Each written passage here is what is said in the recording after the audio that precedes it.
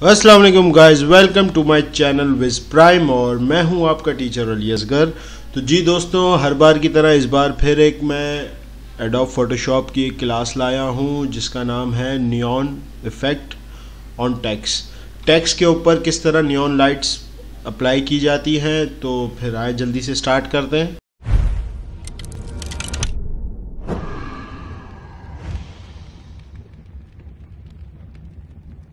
जी तो दोस्तों, सबसे पहले हमें फ़ोटोशॉप ओपन कर लेना है और फ़ोटोशॉप के अंदर कुछ मैंने पिक्चर्स आपको लिंक के अंदर दी हुई है डिस्क्रिप्शन में।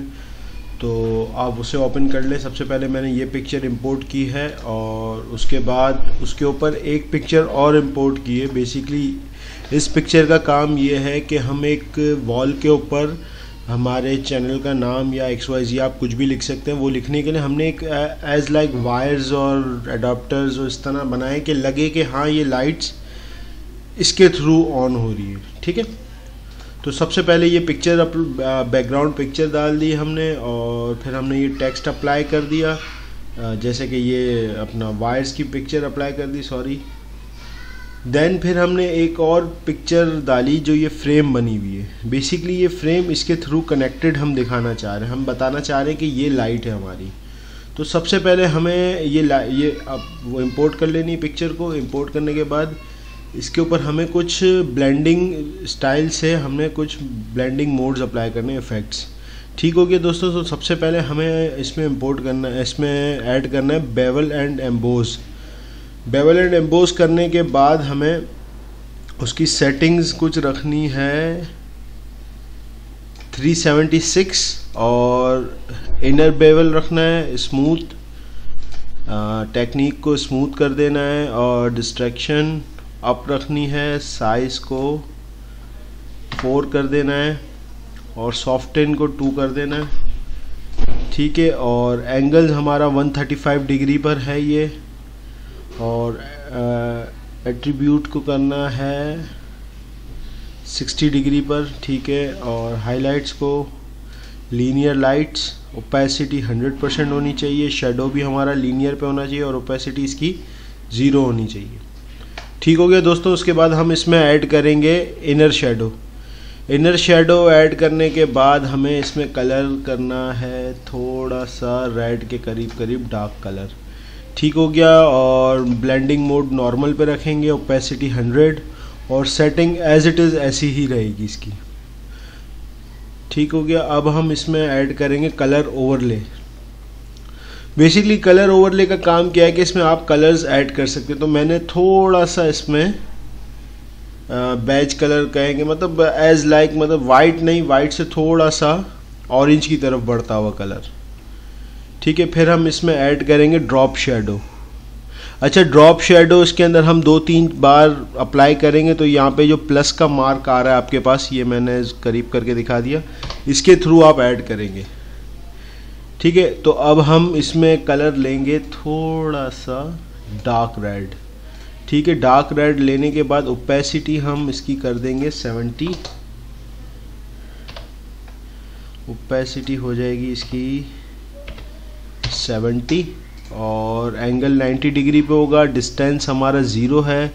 स्प्रेड को हम कर देंगे 8 ठीक है साइज़ को हम कर देंगे 15 ठीक हो गया? तो फिर ये हमारी कुछ इस तरह होगी। आप ये देख सकते हैं कि जो प्रीव्यू आ रहा है बैक पे किस तरह से आ रहा है।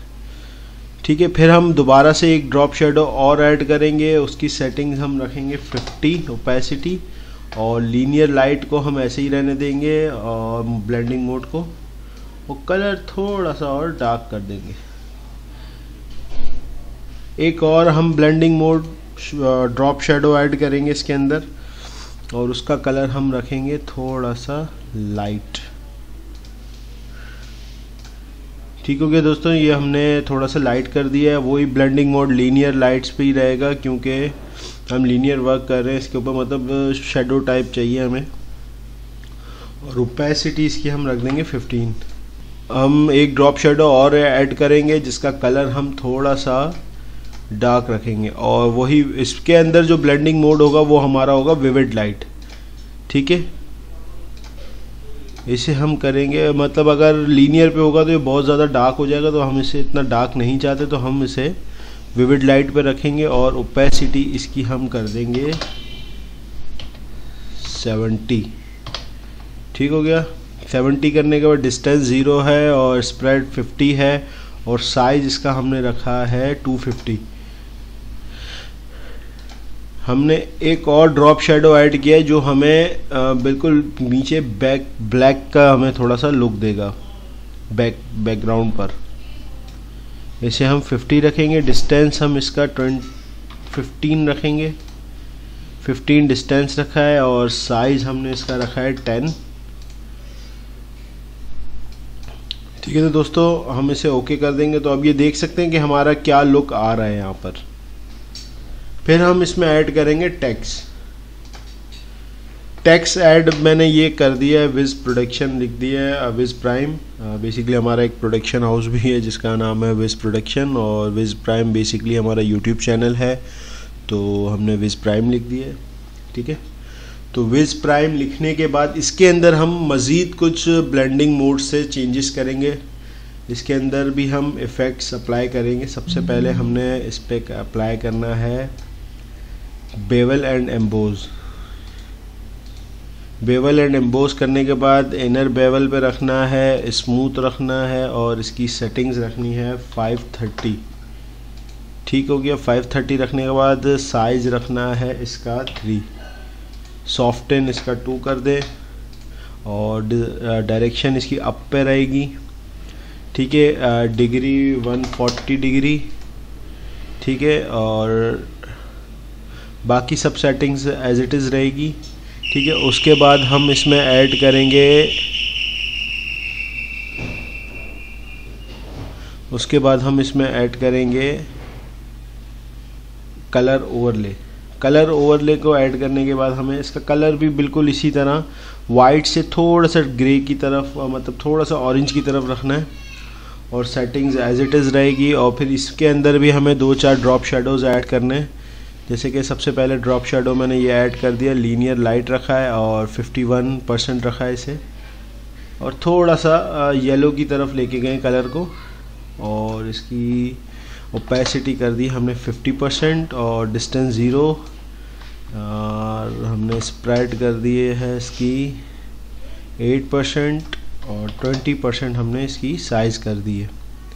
एक और ड्रॉप शेडो ऐड करेंगे हम इसके अंदर, जिसके अंदर कलर इसे देंगे, थोड़ा ब्लूइश लाइट ब्लू कलर और लीनियर लाइट इसका हम ब्लेंड मोड रखेंगे। और ओपेसिटी इसकी हम देंगे थर्टी थर्टी ओपेसिटी है डिस्टेंस हमारा इसके अंदर होना चाहिए एलेवन और स्प्रेड हमारी यही होगी और इससे कर देंगे हम थर्टी साइज़ को। बाकी सेटिंग सब एज इट इज़ रहेंगी। हम एक ड्रॉप शेडो और ऐड करेंगे। याद रहे, मैं दोबारा से बताऊँगा कि इस प्लस के ऑप्शन से ही आएँगे, अगर जिसके पास नहीं आ रहे। फिर से हम यही थोड़ा सा लाइट ब्लू कलर लेंगे स्काई ब्लू कहते हैं जिसे, और इसे हम लीनियर लाइट नहीं विविड लाइट करेंगे। और इसकी ओपेसिटी हम कर देंगे 40 और डिस्टेंस ज़ीरो स्प्रेड 30 और वन 130 इसकी साइज़ रखेंगे हम। एक ड्रॉप शेडो और ऐड करेंगे इसके अंदर और जिसका कलर हम थोड़ा सा डार्क ब्लू की तरफ़ ले जाएँगे और ब्लेंड मोड वही होगा विविड लाइट और इसका हम ओपेसिटी करेंगे 55 और 90 डिग्री पर रखेंगे डिस्टेंस और स्प्रेड हमने इसका 50 परसेंट और साइज़ हम इसकी कर देंगे 80 ठीक हो गया, यहाँ पे आपको चेंजेस होती हुई नज़र आ रही होंगी। एक ड्रॉप शेडो और ऐड करेंगे, जो हमारा होगा ब्लैक का। उसका हम करेंगे लीनियर लाइट और साइज़ सम तकरीबन एज इट इज़ होगी सेटिंग सारी। और हम इसे कर देंगे ओके ओके करने के बाद हम सबसे पहले, अब हम यहाँ से लेयर्स में जाके हम यहाँ पर लेंगे कलर बैलेंस कलर बैलेंस लेने के बाद हमें सबसे पहले यहाँ पर एक मिनट सॉरी कलर बैलेंस लेने के बाद हमें यहाँ पर इसकी करनी है कलर्स की सेटिंग्स